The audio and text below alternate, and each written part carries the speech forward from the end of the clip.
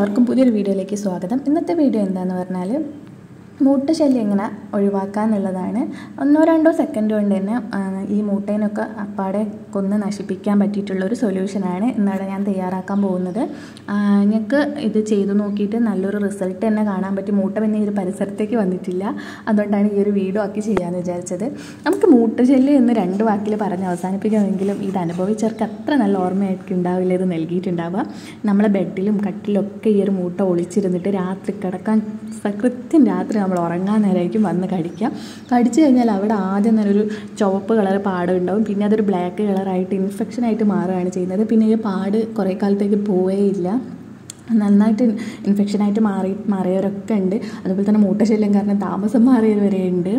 അപ്പോൾ എല്ലാവർക്കും അറിയുന്ന കാര്യമായിരിക്കും. ഭക്ഷണം ഇല്ലാതെ തന്നെ ഈ ഒരു മൂട്ടയ്ക്ക് ദീർഘകാലം ജീവിക്കാൻ പറ്റും. അതേപോലെ തന്നെ വളരെ പെട്ടെന്ന് തന്നെ പെറ്റ് പെരുകി എന്താ പറയുക ഈ ഒരു സ്ഥലത്ത് നിറഞ്ഞ് ഇതാവാനുള്ളൊരു സംഭവം കൂടെ ഈ ഒരു മുട്ടയ്ക്കുണ്ട്.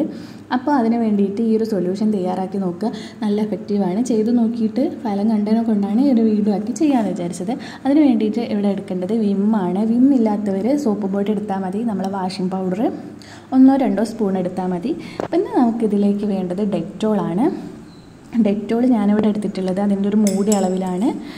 ഡെറ്റോളും ഈ ഒരു സോപ്പും പൊടി അല്ലെങ്കിൽ വിമ്മിന്റെ ലിക്വിഡും കൂടെ നന്നായിട്ട് ഇളക്കി ഒന്ന് ഏതെങ്കിലും സോപ്പ് പൊടി അല്ലെങ്കിൽ വിമ്മിന്റെ ലിക്വിഡ് ഇതിൽ ഏതെങ്കിലും ഒന്ന് മതി.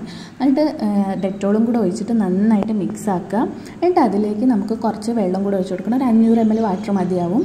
അതും കൂടെ ഒഴിച്ച് കൊടുത്തിട്ട് നന്നായിട്ട് മിക്സ് ആക്കുക. മൂട്ടശല്യം കാരണം ഈ ഒരു പ്രവാസികൾ അതേപോലെ തന്നെ പട്ടാളക്കാരൊക്കെ ഉണ്ടാവില്ല ഒരുമിച്ച് ബാരക്കിലൊക്കെ താമസിക്കുന്നത് അവരുടെ അടുത്ത് അവരുടെ ഇടയ്ക്ക് ഇടയിലൊക്കെയാണ് ഇത് ഉണ്ടാവുക.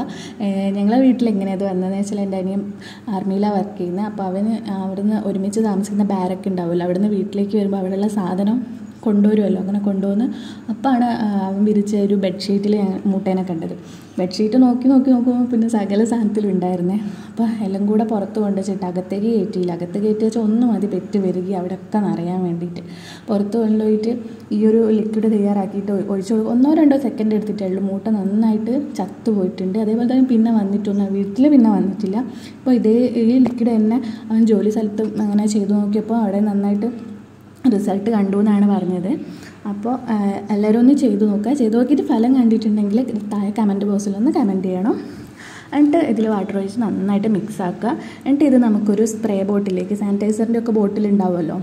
അതിലേക്ക് ഒഴിച്ചു കൊടുത്തിട്ട് ഈ മുട്ടയുള്ള അധികം ചകരി മോഡൽ കട്ടിൽ ബെഡിന്റെ ഈ ഒരു ഇടുക്കി ഇടുങ്ങി ഇടുങ്ങിയ സ്ഥലത്തൊക്കെ ഉണ്ടാവുക. അവിടെ നന്നായിട്ട് ഇങ്ങനത്തെ ഒരു ബോട്ടിൽ വെച്ചിട്ട് സ്പ്രേ ചെയ്ത് കൊടുക്കുക. സ്പ്രേ അലമാരയിൽ സ്പ്രേ ചെയ്യുന്നതിന് കുഴപ്പമില്ല. പിന്നെ ഈ ഒരു ലിക്വിഡ് സൊല്യൂഷൻ തയ്യാറാക്കുമ്പോൾ മാസ്ക് വെക്കുന്ന കുറച്ച് നല്ലതായിരിക്കും എനിക്ക് മാത്രമാണോ എന്നറിയില്ല. എനിക്ക് തലവേദന വന്നിട്ടുണ്ടായിരുന്നേ. ഈ ഒരു ഇതിന്റെ ഒരു മണം വന്നിട്ട്. അപ്പോൾ എല്ലാവരും ഒന്ന് ചെയ്ത് നോക്കുക അപ്പോൾ എല്ലാവരും ഒന്ന് ചെയ്ത് നോക്കുക. ചെയ്ത് ഈ ഒരു റിസൾട്ട് കണ്ടിട്ടുണ്ടെങ്കിൽ ഒന്ന് കമന്റ് ചെയ്യുക. പിന്നെ വീഡിയോ